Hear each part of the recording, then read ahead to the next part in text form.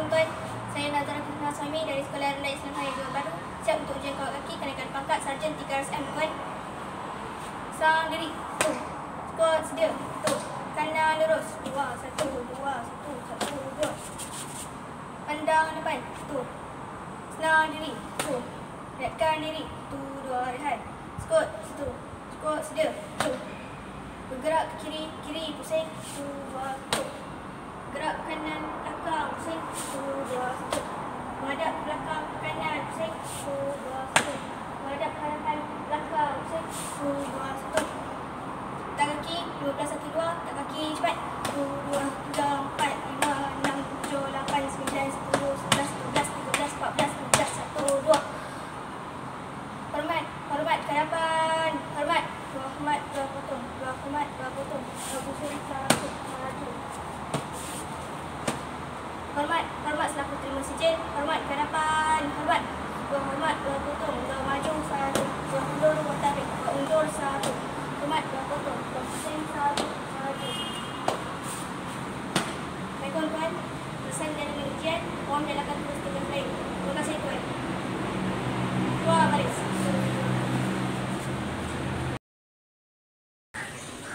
Tuan. Saya Nazar Fitnah Suami dari Sekolah Rendah Islam dari Johor Bahru. Siap untuk test tentang bakat radio 3SM.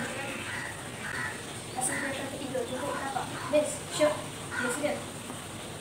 Satu, syok, dua, syok, tiga, syok, empat, syok, up, lima, syok, enam, syok, tujuh, syok, lapan, syok, up. Elak guna satu, best, syok, dia Serang. Shot. Up.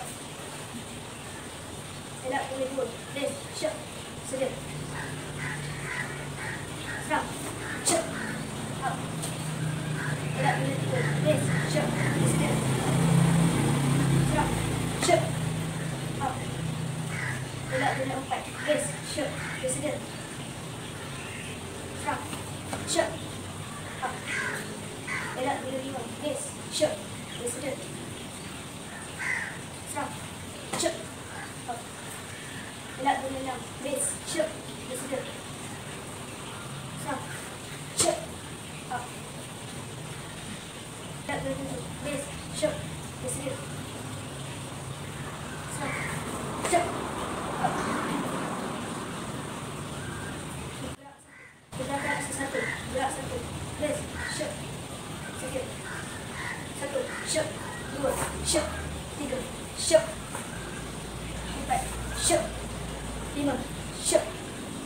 Enam.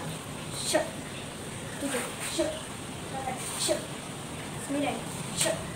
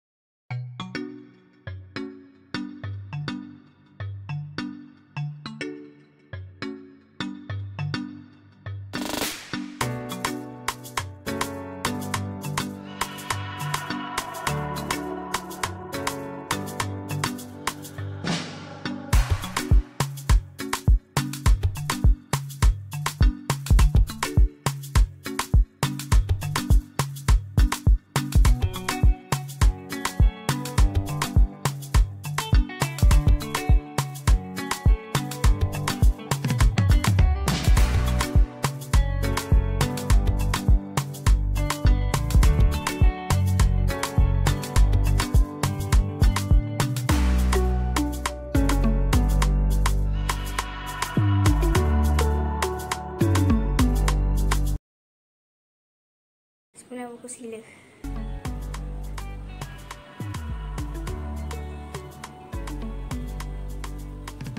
Pembangun keti.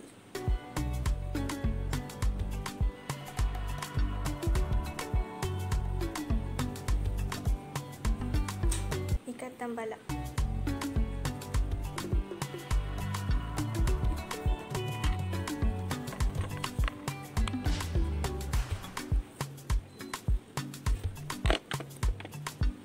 Simpul manok.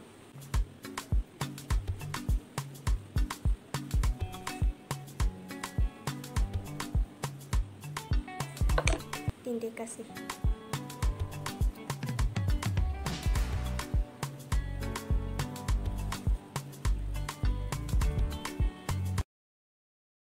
Assalamualaikum warahmatullahi wabarakatuh. Saya Nazra Kristan Sami dari Sekolah Rendah Islam Johor Bahru ingin menyampaikan ucapan yang bertajuk Tamadun Islam. Tamadun Islam dapat didefinisikan sebagai keadaan hidup masyarakat yang bertambah maju meliputi kehidupan lahiriah dan rohaniah. Kedua-dua aspek tersebut di dalam tamadun Islam berteraskan dalam ungkap kata Iqra yang bermaksud bacalah sebagai wahyu Allah yang pertama diturunkan kepada Rasulullah sallallahu alaihi wasallam di Gua Hira. Ia menjadi punca kepada manusia yang bertamadun untuk menambah ilmu pengetahuan dan mencapai matlamat ketinggian dan kejayaan tamadun dalam mencari redha Allah. Bertepatan dengan firman Allah dalam surah Al-Maidah ayat 35, A'udzu billahi minasyaitonir rajim. Ya ayyuhalladzina amanu taqullaha wa tawul wasilata wajahidu fi sabilihi la'allakum tuflihun. Yang bermaksud, wahai orang-orang yang beriman, bertakwalah kamu kepada Allah dan carilah apa yang boleh menyampaikan kepadanya serta berjihadlah pada jalan Allah supaya kamu memperoleh kejayaan.